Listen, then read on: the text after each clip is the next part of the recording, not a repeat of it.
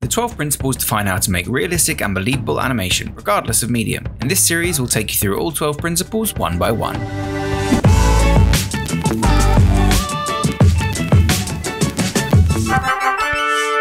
Tip Tut. First up is squash and stretch. So, let's talk about squash and stretch. All objects in the real world come under forces like gravity or impact, and have characteristics like rigidity or flexibility. Literally squashing and stretching your subjects helps to illustrate how they are under the influence of their speed, momentum, weight, or mass. Here's a basic example without squash and stretch,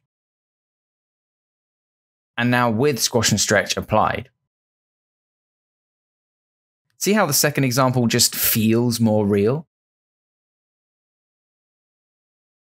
If our subject is moving very quickly, then their form should stretch to imply that speed. When they come to a stop and lose all their momentum, their form should squash as the perceived energy builds up. As your subject loses momentum and expels the energy, the amount of squash and stretch should decrease accordingly. In this bouncing example, the energy is being expelled into the ground with each bounce, so each time the subject hits the floor, the amount of squash and corresponding stretch reduces. Squash and stretch isn't just for subjects that impact something or move quickly.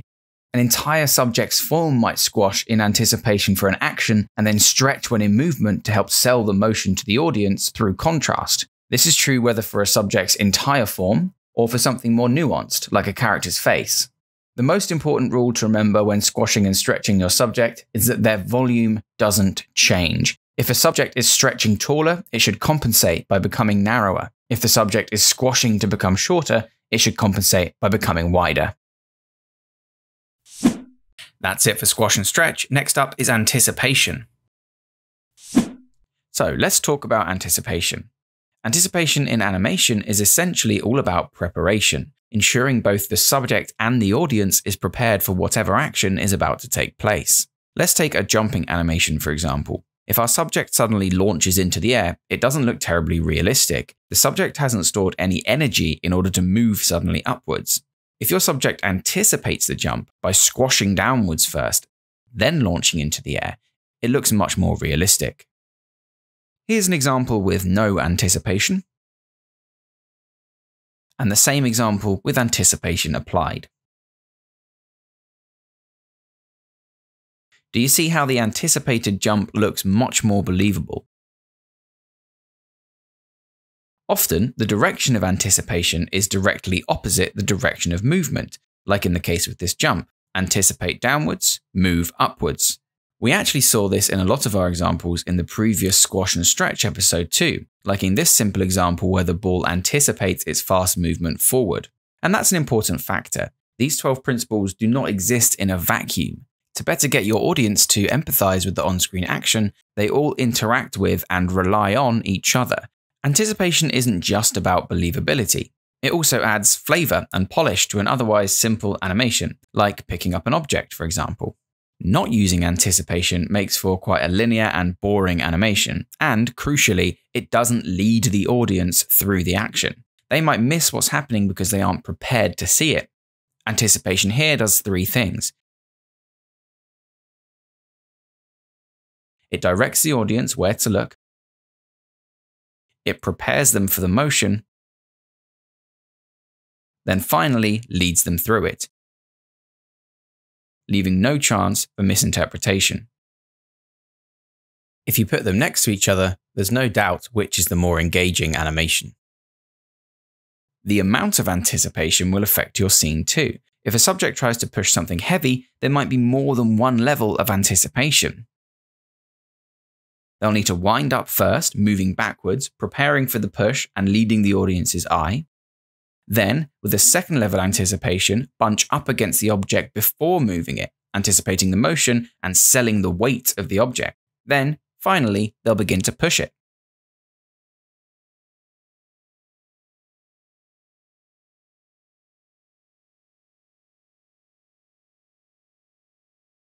Moving something lighter requires much less anticipation.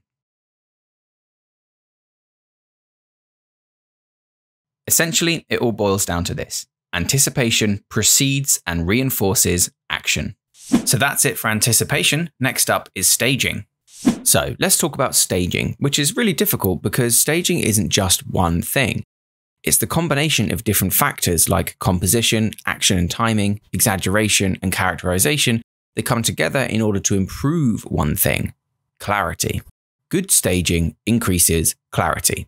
So let's go through some basic examples, but please note this is not an exhaustive list, but rather just a jumping off point for your ideas. Composition first, then. Ensure your subjects are well framed. Don't have them off to the side, or too small, or too large. To ensure your audience can follow the action, consider placing them in center frame or follow compositional rules like the rule of thirds. Wider shots are better for bigger actions like running or jumping, whereas close up shots are better for conveying emotion or dialogue. Make sure you know which is the main subject of your scene. Giving your audience too much to look at at once can cause confusion. Your environment and camera movement can help to direct the viewer's eye as well, either towards or away from the subject. When it comes to action and timing, the two are codependent.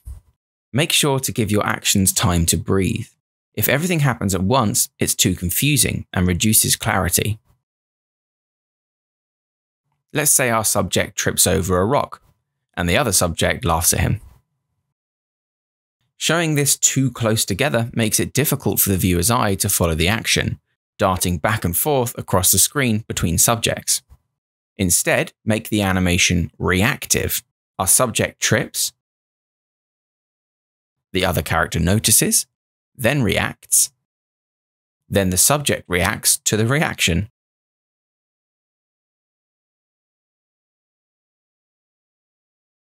Much clearer.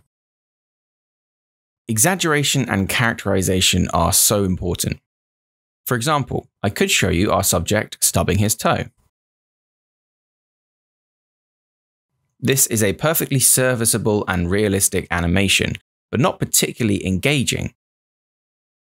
Let's push this a step further by exaggerating the animation's character, action, and timing. Let's start by turning the normal walk into a walk of pure joy. When the subject stubs his toe, let's have him bunch up into the pain. Then he releases the pain, launching into the air, and finally begins literally fuming with anger. This tells us so much more about the subject's character by exaggerating the action and timing to convey what's happening on the stage with increased clarity. Now let's polish this off by using the camera to aid in telling the story. So, once again, staging is the combination of many different factors that all come together to improve one thing clarity. That's it for staging. Next up is straight ahead and pose to pose. So, let's talk about straight ahead and pose to pose. The two terms describe two different methods of animation. Straight ahead animation involves drawing all of your frames in order. You start with frame 1, then frame 2, frame 3, and on and on until you complete your shot, a bit like you did in the corner of your notebook during school when you should have been studying. With pose to pose, you plan out your animation by drawing the important frames first, then going back and filling in the gaps. This is great for most actions that are predictable and can benefit from planning out your actions. Each method has its own strengths and weaknesses and is suitable for different types of content. Straight ahead animation is best for animating natural or free flowing animations like water splashing, fire burning, or clothes flapping. These types of animations would be difficult to plan pose to pose because they have their own autonomy and can act unpredictably based on external influence. While straight ahead animation is great for these types of motion, does have some drawbacks. For example, if I animated a complicated, longer animation straight ahead, there's a strong possibility my character would shrink or grow accidentally, as I'd only be referencing the few frames that come before it, meaning mistakes and small differences become amplified over time. With pose to pose, you plan out and draw your frames in order of their importance, starting with the vital frames, then going back and adding in the rest. This stops accidental growth, shrinking, or warping of features because they're planned out. The downside is movements can look less natural and stiff if you're not careful. With pose to pose, you should plan your shot in four stages. Number one, your keys or keyframes that tell the story of your animation. Number two, extremes, which exist at the furthest point of movement in any direction. Number three, your breakdowns, which describe the movement between extremes. And number four, your tweens, which go in between all the other frames to give the shot the correct timing. The first frames you draw are your keys, or key frames. These are the frames that tell the story of the shot. Let's say our subject is carrying a lit torch in a cave. A bat swoops down and scares him. He drops the torch and it fizzles out in a puddle. The frames that tell the story would be our subject standing with a lit torch in a cave. The bat swoops down. Our subject gets scared. He leaps in the air, dropping the torch. The torch hits the water, getting snuffed out, plunging him into darkness. These six frames are the keys and the bare minimum needed to tell the story. The next frames to draw would be the extremes at the far end of any movement.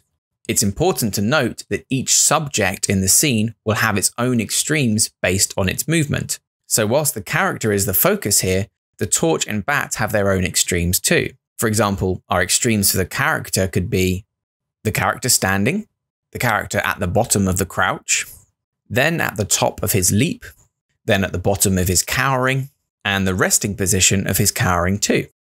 For the torch, it would be the torch in its original position, at the bottom of the character's crouch, at the peak of its arc through the air, at the first frame it touches the puddle, the peak of its smaller bounce, then as it touches the puddle again and is snuffed out. For the bat, it would be when the bat appears, at the base of its first bounce, the peaks and base of each remaining bounce. At this point, you should have a fairly good idea of what your animation will look like and how long it will take, but we need to get from one extreme to the next. And to do this, we use breakdowns. Breakdowns describe the movement between extremes, and they're very important. Let's take a look at a simple example first, then return to our scene. These two extremes show our character turning their head. Let's put a basic breakdown between them. That's simple enough. Now, let's replace this one breakdown frame with something completely different. Can you see how that completely changes what the animation will turn out to be? What if I change it again? Let's go back to our scene. Like with the extremes, each subject has its own breakdowns too. Our character's breakdown should be wild and expressive to exaggerate his fear. Let's put them in first. The torch's breakdowns should follow the arcs of motion, which, PS, is another principle we'll be discussing later. The bat's breakdowns should highlight the comedy by tilting and rocking between the extremes. Finally, the in-betweens. This is probably the most boring bit of animating. All the fun figuring out is done, and you should just add enough frames in between your other frames to make the timing of the animation correct. Now that's a well planned and executed scene. But wait, there's something missing, as I'm sure you've noticed. The character's torch isn't lit, there's no splash on the puddle when the torch hits it, or smoke when the torch is snuffed. Finally, the string holding up the bat is also missing. All these elements react to the movement of the other objects in the scene, which we've now planned out so perfectly, and because of that, animating these straight ahead is both simple and effective. Now let's make a real power move by combining pose to pose and straight ahead animation. The flames of the torch should trail behind the torch's movements. Easy now that we've planned that out. The string on the bat should bunch up and become taut based on the position of the bat. The splashes in the puddle should react when the torch hits it. And finally, the smoke should curl up and out from the position of the torch's final resting place. As you can see, combining pose to pose and straight ahead animation helps you plan out complex scenes with relative ease. You can focus on the pose to pose animation without being distracted by the straight ahead content. And when creating the straight ahead content, you have the pose to pose motion to support and inform it. That's it for straight ahead and pose to pose. Next up is follow through and overlapping action. So let's talk about follow through and overlapping action. The two terms describe similar but separate techniques, and you can kind of think of them as the opposite of anticipation, which we've spoken about in a previous principles episode. Just like a subject has to anticipate a movement by winding up to it, things don't just stop all at once. The subject or parts of the subject should continue to move after the main body has come to a stop. Here's an example with no follow through, and the same example with follow through applied. Follow through basically comes down to certain parts of a subject overshooting the main subject's stopping point. Just like our character anticipated his jump, he has to follow through on the landing. Different objects follow through in different ways. Long flowing hair will follow through in a natural, free flowing manner, whereas something more rigid, like a spring, will move differently. Just like we discussed in our straight ahead and pose to pose episode, it's often easier to animate the main body of movement, then go back and animate the follow through action straight ahead. Overlapping action is a similar concept, but describes how different parts of a subject should start and stop moving at different times, or overlap each other. Let's take our pendulum animation from the squash and stretch episode. Here, the character's body moves first, and for a few frames, the limbs don't move. Then they begin to catch up, starting later and overlapping the main body's action, sometimes even moving in the opposite direction to the body. This overlap breaks up the animation into different movements and adds a lot to the feel or polish of the animation. Another example would be a character hammering in a nail. Here's the example with no overlapping action. And here the arm moves in three parts, overlapping each other. The upper arm moves first, then the lower arm, then the hand, creating three parts of overlapping action, each being dragged by the previous segment. Much more interesting than the basic version. The term I just mentioned, drag, is sometimes thrown around too, and basically refers to the amount that an object will overlap or follow through. Something floppy will drag a lot more than something rigid, just like our hair to spring comparison earlier. The final term you might hear is keeping the animation alive, this is the act of tracing an object for a few frames after it stops moving to add a little boil or wobble to the lines. This keeps the animation alive by adding interest even though the subject has stopped moving. That's it for follow through and overlapping action. Next up is slow in and slow out. So let's talk about slow in and slow out, or as it's more commonly referred to these days, ease in and ease out. This is a super important principle that basically says most movement isn't linear. Most things start moving slowly, speed up, and then slow down before stopping. If an object moves at one speed, starting and stopping without slow in and slow out, it looks unrealistic, mechanical, and unnatural, which of course could be what you wanted, but in most circumstances it just doesn't look real. A character might slow out as they prepare for a big action, like winding up to push a heavy object. Or there might be barely any slow in, just one or two frames, for a character that is launching into a fast run. But even in these scenarios, those one or two frames make all the difference in the world. Of course, just because our slow in here has relatively few frames, our character is moving quite fast, so the slow out would take much more time as the amount of energy in one direction has to be counteracted. Barely any slow in, but a lot of slow out. You can't just apply slow in and out everywhere, though. A falling character wouldn't slow out as they approach the ground, but they would slow in and out as they approach and leave the apex of their bounce.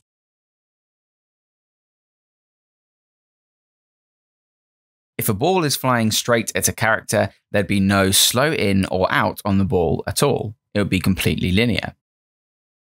But the character would slow into the hit and out of the follow through.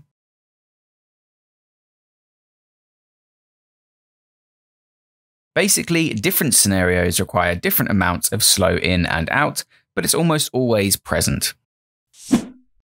That's it for slow in and slow out. Next up is arcs. So let's talk about arcs. It's very rare that objects in the real world move in straight lines. Moving along a curve or arc of motion makes for a much more natural and realistic animation. Let's take this simple picking up a ball animation. Moving straight up and down to pick up the ball looks a little robotic and stiff, whereas if we add even a subtle swoop or arc to the motion, it makes it feel much more engaging and natural straight away. No arcs? Stiff. With arcs? Much better.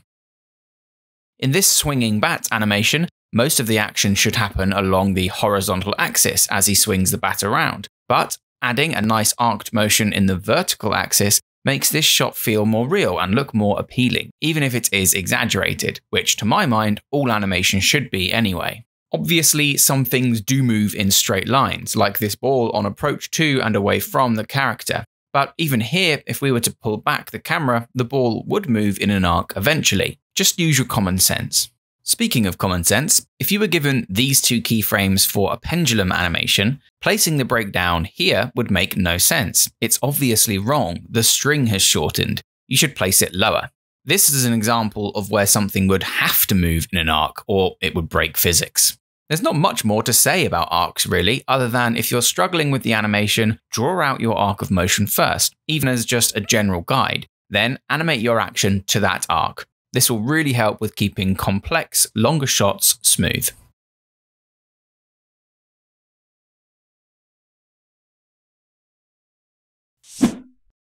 That's it for arcs. Next up is secondary action. So, let's talk about secondary action. Secondary action is less about animation specifically and more about storytelling. Secondary action is any additional animation that supports and reinforces the primary action of the scene. The primary action is whatever is the most important action of your shot.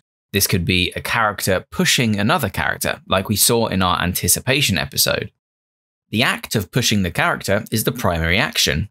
We use secondary action to make this animation more interesting. We want to convey that the character is heavy, so the wind up to the push would be a piece of secondary action that reinforces the push. Additionally, the character's facial expression as he pushes, building up in pressure before releasing, helps to sell the weight of the movement. Pushing is the main action, the wind up and the facial expression is the supportive and reinforcing secondary action. This character stubs his toe and gets angry. That's the primary action. Adding him hopping up and down, turning red, and fuming smoke from his ears all reinforce the primary action, helping to sell the anger. It's important to note that secondary action is not the same as secondary animation, which it's sometimes confused with. An example of secondary animation is your follow through and overlap. The head movement is the primary action of the scene, but the hair movement is not the secondary action, it's just good animation. It doesn't support or reinforce the primary action in any way, it's just dependent on it. So let's take this from the ground up, because changing the secondary action can completely change the scene. Let's take a simple action like a character cutting a slice of cake. That's the primary action. Let's give him some character by having him drool as he cuts the cake.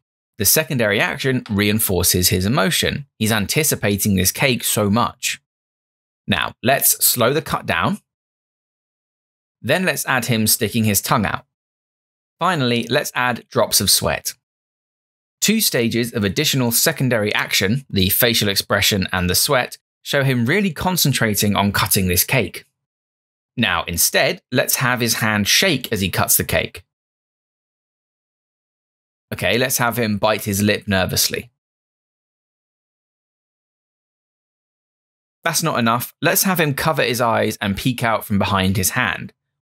Why is he so terrified of cutting this cake?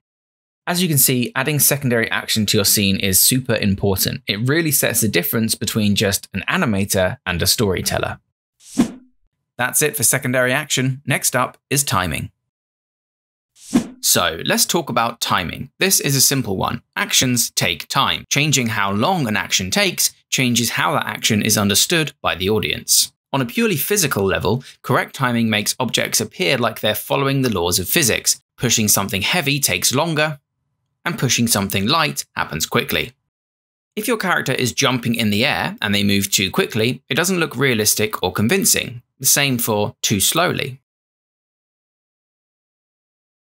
Oftentimes, it's actually helpful to film yourself performing an action, like picking up an object, for example, to time your animation correctly. You can use keys, extremes, and breakdowns, which we spoke about in our pose to pose versus straight ahead episode, to plan out your shots and ensure the timing is correct. Of course, you don't have to follow physics if you don't want to, but like anything, in order to break the rules properly, you have to know them in the first place. Timing in animation is all done on frames, usually 24 frames per second. This means 24 drawings are needed to fill a second of footage. This is called animating on ones. Usually, animators animate on twos, drawing every other frame to save time, but also to stop things like line wobble or boil on frames that are very similar, which can be pretty distracting. Usually, animators will switch between twos and ones depending on the action. For very fast or complex motion, animate on ones, or some of the detail might get lost. For most motion, animating on twos or even threes if you're doing cheap anime seems to work fine. Let's look at an example of how changing the timing can change an animation's meaning. Here's some extremes and breakdowns showing a character reaching out, picking up a bug, and bringing it close to their face. If we use just a few frames for this animation, our character is snatching up the bug to stop it getting away, or even to squish the poor thing. Add in lots more frames, and he is reverently reaching out in awe at a rare species of insect in order to not spook it. Same action, opposite meaning, purely based on timing. As you can see, timing is a very powerful tool to have and understand in your arsenal, and knowing how to use it properly can change your entire animation game. That's it for timing. Next up is exaggeration. So, let's talk about exaggeration. Animation is exaggeration. If animation follows real life too closely, it loses so much impact. Rotoscoping, the process of drawing over live footage or 3D models, can be a good example of where the charm and nuance of motion is lost when we stick too close to real life. This isn't to say rotoscoping animation is wholly bad, there are some fantastic examples out there. Sure, we can reference real life to get the broad strokes right, but then to make great animation, we should take that movement and exaggerate it. The things we animate don't actually follow the laws of physics, so exaggerating things like weight or impact really helps to sell the animation to the audience. This is kind of similar to the principle of staging, wherein we use various techniques to reinforce an idea, like our angry man from before. He stubs his toe and is angry about it. Seems fine. But when we add him hopping up and down, turning red, some extreme expressions, and smoke coming out from his ears, we realize just how boring the first animation was. It's all about exaggeration. They're not mad, they're furious. They're not happy, they're elated. They're not strong, they're ripped. They're not cute, they're sickeningly kawaii AF. Sorry. Let's take a perfectly serviceable slap animation. Seems quite impactful, no? Let's exaggerate the wind up. Now the impact. Finally, the follow through. Much better. You can apply this idea to anything character, emotion, color, movement, whatever. It doesn't matter. Animation is exaggeration. That's it for exaggeration. Next up is solid drawing. So let's talk about solid drawing. Solid drawing is the practice of drawing your animations as if they have 3D volume, in order to lend a greater sense of weight, balance, and realism to their movements. At this point, it's probably important to remind you that these are Disney's principles of animation, and if your style leans towards a heavily stylized 2D, then obviously this principle will be less important. But even in a 2D stylized animation, it helps to know how to draw your characters with volume from any angle, so don't close this video, or you'll make Red Ball Guy cry. Solid drawing helps add weight and realism to your animation, even on simple characters like ours. When our red character turns around, his face doesn't move across his body like a flat circle, but instead curves around it as if it were a sphere. Even our actually flat square character can do the same thing, even though I made the conscious design choice to make him a square as opposed to a cube, because otherwise he doesn't look like the same style of character as our red guy. It's useful to start with simple shapes when trying to draw solidly, building up the rigging or bones of the character before adding the detail on top. When you do add the detail, make sure your line work supports the form of what you're drawing. If one section is in front of the other, draw an overlapping line to reinforce this. This helps sell the 3D volume of the shape. Drawing in perspective helps sell the idea of realism too. So rather than drawing in an isometric or parallel view, try to add perspective to your forms. If you struggle with this on complex shapes like I do, then cheat Sometimes I model basic shapes in 3D software like Blender, then draw over the top of them to add the details. If it works, then it works. To summarize, regardless of your actual style, thinking of your drawings as 3D objects rather than flat shapes will help to reinforce your animation and make it more believable. That's it for solid drawing. Next up is appeal. So let's talk about appeal. Appeal in animation is all about being dynamic. It doesn't necessarily mean nice to look at because that's subjective, but instead, to my mind, you can replace the word appealing with engaging. Everything your animation is doing, from character design through to exaggeration, should be working to make your animation as engaging or appealing as possible. With this in mind, you can kind of think of appeal as the culmination and combination of all the other principles of animation, plus a little something extra on top. Whilst the other principles are about making believable animation, appeal is about focusing on what we're trying to convey and doing that in the best possible way. Let's take this footage I recorded of a bouncing ball. As you can see, not much interesting stuff is happening here. But our bouncing ball from the first principles episode is a lot more appealing to look at. There's a ridiculous amount of squash and stretch. It's exaggerated, over the top, and ridiculous, but these aspects add to the appeal of the animation, making it more engaging, sacrificing realism for appeal. When it comes to characters, you should highlight their features to better show their personalities. Even with stupidly simple characters like our ball and square, we can emphasize certain features like eyes, mouths, and postures to reinforce the message. If I may, let's step away for a moment from our simple characters to examine an example with more anatomy. The appeal of the two characters shown in this animation comes from their contrast between each other. One is lanky, flowing, and willowy. The other, chunky, round, and short. Their proportions, size, and colours reinforce their personalities and messages, making them more appealing to the audience, both in isolation and when paired together. When we break them down into their core shapes, we can see how this contrast helps sell their appeal. Blue Guy is made up of shapes with hard corners, tall, thin reverse triangles, and the cool blue colour makes him seem reserved and distant.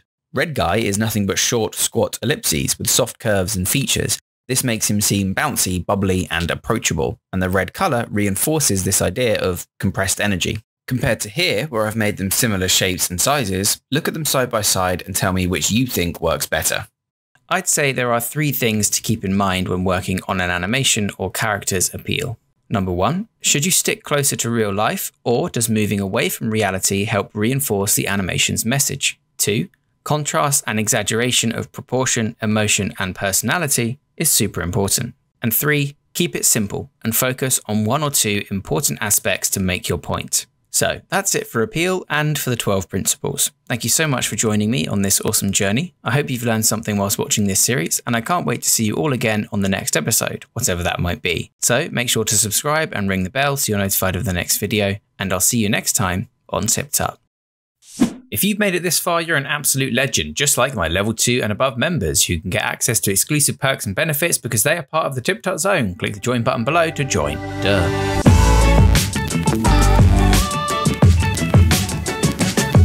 Remember to subscribe for more tips, tricks, and tutorials. Thanks for watching.